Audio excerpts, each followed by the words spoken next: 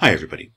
This is Eugene O'Loughlin, lecturing computing at the National College of Ireland, and welcome to my series of short problem-solving techniques videos.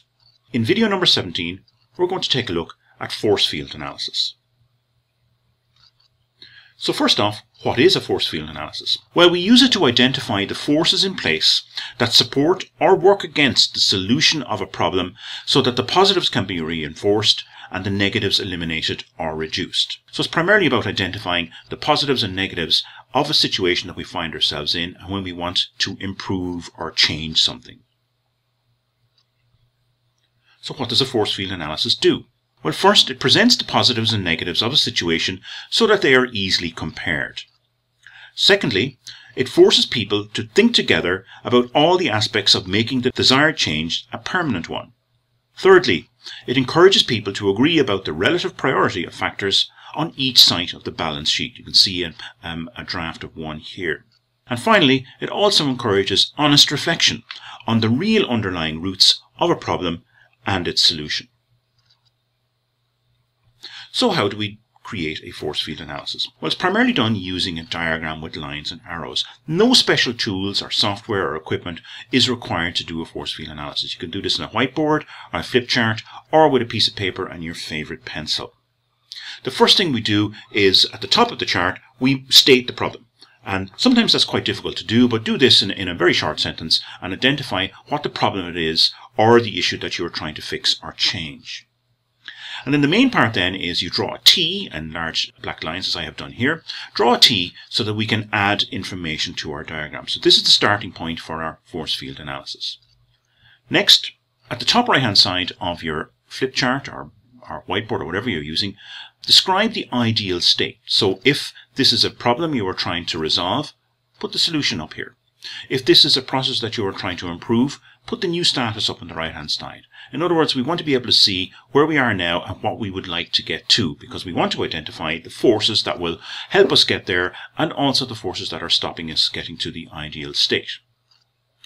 Next, on our T, we list on the left hand side all the driving forces that we can think of and on the right hand side all the restraining forces that prevent us from reaching the ideal state. And then we brainstorm ideas. First, I brainstorm all the driving forces ideas, all the things that are positive, all the things that are good, that are helping us right now to get to the ideal state. We're not there yet, but what are the driving forces? The positives. On the right hand side, you want to identify the negatives because these are the restraining forces that are pushing us away from the ideal state. So that's why the arrows are drawn in the directions that you see here. Sometimes in some types of force field analysis, you will see um, thicker arrows for stronger driving forces or longer arrows uh, and so on. But basically, we're going to stick to the type of arrow that you see here. So this is a template for any simple force field analysis. So let's take a look at an example. And here's a classic example involved in the problem statement is that you would like to improve a person's ability in public speaking. So our problem statement is improve public speaking. And the ideal state that we would like this person to reach would be that they would be able to, in public, speak confidently. So within our team or within a group or workshop sometimes works best for brainstorming. Uh, we brainstorm all the driving forces and all the restraining forces. Now there are lots of positives and negatives that might uh, help or prevent a person to speak confidently, but I'm just going to use a selection of examples here. So the driving forces, I'm identifying four. We could, a driving force for speaking confidently would that somebody would be able to get an increased self-esteem. It would help their career. It would help them communicate ideas better and would also help others to change. And I'm sure you can think yourself of many, many more positives or driving forces that would help somebody speak confidently in the problem of improving their public speaking abilities. When you've done that, go back and do a, a, brainstorming session on the restraining forces or the negative forces. And again, a selection of these might be things like uh, somebody has had a past embarrassment in when they were speaking publicly. They're afraid to make mistakes. They may actually forget what to say. Or possibly they're worried about a lack of knowledge in the area that they're speaking about. And I'm sure once again, you can think of many, many more negatives or restraining forces that push a person away from speaking confidently. So these are the forces that are driving us towards confident speaking and the forces driving us away, the negatives, are restraining us from achieving the ideal state. What we do then is that we hone in or we concentrate on the individual items that have been selected. I'm just going to select one here to keep this video short. And under one of the restraining forces is that uh, a person may forget what to say.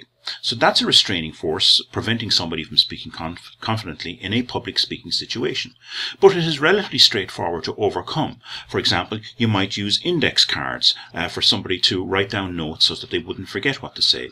Or use PowerPoint or bullet points or something like that to help somebody uh, get over the fear or the negative of forgetting what they might say. And I'm sure you can also think here uh, about other ways of overcoming some of these negatives or restraining forces on the right, or indeed enhancing the driving forces or the positives on the left-hand side. So in a task like this, you can get many, many ideas to improve the driving forces and to eliminate or reduce the restraining forces. So that's a simple way of looking at force field analysis. If you like this problem solving technique, there are many others covered in my new book, An Introduction to Business Systems Analysis, uh, available on Amazon and online, published by the Liffey Press. Um, I hope you enjoyed the video. Thank you for your attention.